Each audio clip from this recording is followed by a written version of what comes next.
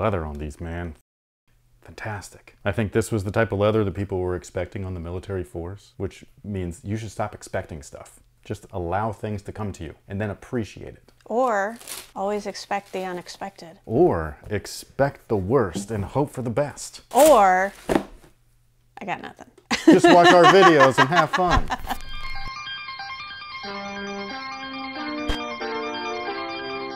Hey, what's going on everyone? My name's Chris. Welcome back to the official WearTesters.com YouTube channel. Today we got a detailed look and breakdown on these bad girls right here. This is the Air Jordan 3 in a brand new colorway dubbed the Georgia Peach, even though on the box the color says Cosmic Clay. But hey, I didn't make the rules. I'm just relaying the message. But before we get into the shoes, uh, this is the box. They come in a sail box, orange branding. Portions of it obviously are done up in elephant print and everything like that. So just in case you were curious. Oh, also I guess I should point out that the paper is splatter print. It should be elephant print, but you know, it is what it is. And these bad girls right here are a women's release. And based on what I can see on SNKRS, they go up to a men's size 10 and a half. So not technically extended sizes, but if you wear 10 and a half or under, then this is gonna be something that maybe you're interested in. As for the shoe itself, the outsole is typical standard Air Jordan 3 outsole. And just in case you missed it, sail is back and it's on this colorway. The midsole itself and the rubber areas are sail. Some people love this, some people are tired of it. Feel free to sound off below and let us know which side of the fence you're on.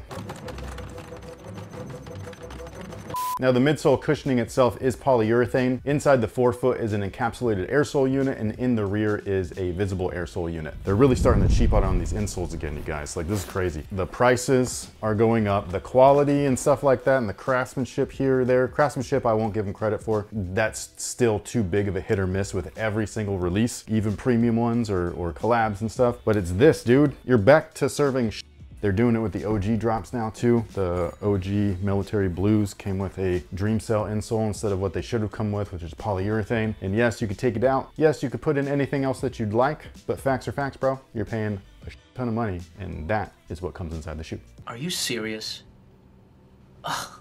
However, the upper is where this particular shoe shines. Not only is the elephant print regular nubuck like it typically is, and it's done the way that it should be, so I like that. And we've got a really nice leather on here. I think that the texture or the overall polyurethane coating, this is something that I really do like. I like it a lot.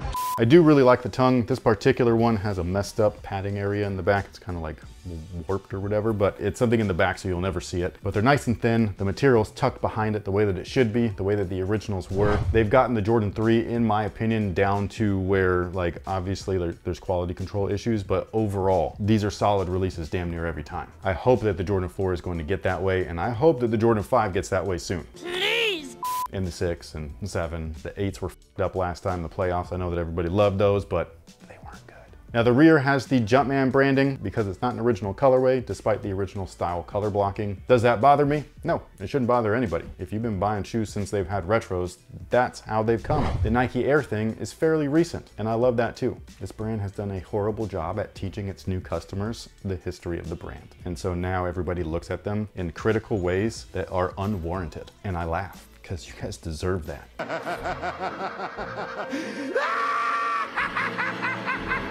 Now, as far as sizing is concerned, go true to size. You should be good to go. Whatever you typically wear with your Air Jordan 3s, that's what I would recommend. Just keep in mind that this is a women's release, so if you're a dude and you're trying to grab a pair, make sure that you convert your size to one and a half sizes up. So for example, if you wear a men's nine, you're gonna be ordering a women's 10 and a half. If you order something like this on SNKRS, they've already got the conversion set up for you. But if you're ordering somewhere else or you're in store and you just don't know, make sure that they bring out the correct size. And with that being said, what do we have for today's question of the day? If there was a 50-50 chance chance that if you were bitten by a spider that you would gain Spider-Man's powers or you would die, would you let it bite you? Yes.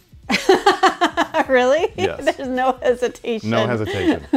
can do it. Let's see what happens. I'm down for this. Would you have us like line up and be there with you while you do it? Who's we? Myself like, and your children. So you can witness my death? Well, it's either we're gonna see like this crazy miracle or we're having to say goodbye to you. No, haven't you learned anything from Spider-Man? You can't tell people your secret identity. It's dangerous. So you would just I would die off in a corner somewhere, or all of a sudden I'd be jumping off the walls and yeah, it'd be amazing. No pun intended. You? I wouldn't. Why? Because. 50-50 is too much of a... Yeah, it's a huge risk. It's just one coin flip.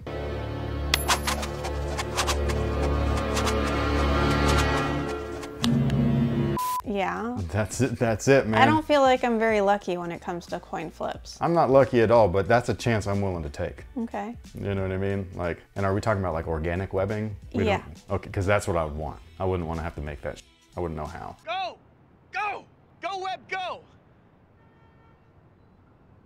I'd just be leaping from things. So, you'd be Tobey. I'd want to be Tobey Maguire's style of powered Spider-Man. I would be a little creeped out by the little like.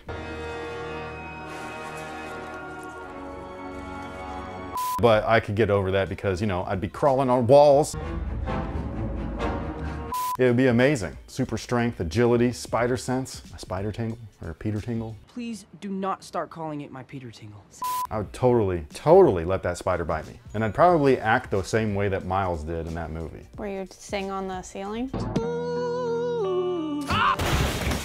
No, where you'd freak out all of a sudden like, oh shit, there's a spider.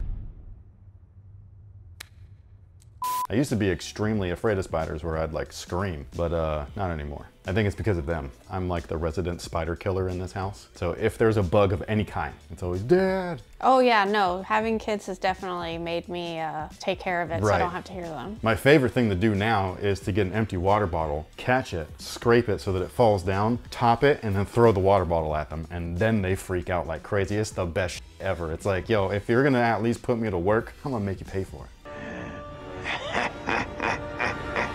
But anyway, sound off below and let us know what you would do at a 50-50 shot, okay? So you got a really good chance of dying, but you got a really good chance of becoming Spider-Man. Which one are you choosing? The red pill or the blue pill? Well, no, but the red pill, blue pill thing doesn't even apply. I know. Because it's like, hey, let everything stay the same or open your mind. No, I know. You get to like no, no. Right. So yeah, scratch that. Yeah, Sorry. not even not even a close comparison. You're it, the the the thing is up front, kind of like this: fifty percent chance you die, or no, I know, but you don't know until it's bitten you. dude, it's a it's a risk that I'm willing to take. That's a fun question. I would totally totally go for it. Can I just say before we leave, the interior sculpting is ultra thin this time. There's like nothing in there. It's kind of surprising. But anyways, with all that being said, sound off below and let us know which would you pick at a 50-50 shot. Would you get bit for a maybe that you'll get spider powers? I'm pretty sure everybody's gonna say yes. At least all the guys will. Or they'll just die. It's fine. It's a risk. That's like what we do every day. I know, but it's a really big. Anything For men sure, do on a daily basis, risk. you got a 50-50 shot of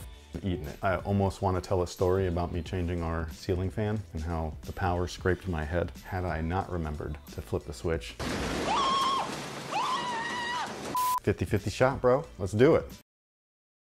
And sound off below and let us know what you think about the Georgia Peach Air Jordan 3. Is this a cop? Is this a drop? Thank you so much for watching. Thank you so much for hanging out with us. I hope that it was fun. I hope that it was enjoyable. Maybe you learned something about the product. Maybe you learned whether or not you want to grab it or not. But with all that being said, we will catch you guys on the next one. So until then, have a good one.